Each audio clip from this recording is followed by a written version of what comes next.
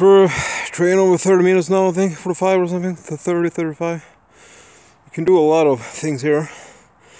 You can go with the calls one call at a time. You can go with the dips triceps chest dips here. You can go with that on shrugs.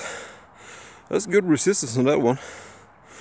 Uh, this you can go with uh, uh, chins and small triceps uh, chest uh, pushes. And you can also stretch your legs and and back and, and so biceps. This uh, you can go with uh, like uh, chins and so on. You can put on a boxing boxing bag over here also. Over here. That's cool. So it's a good outdoor you can do legs on this this one. So this is cool. I'm training for free. I'm uh, with body weight so that's cool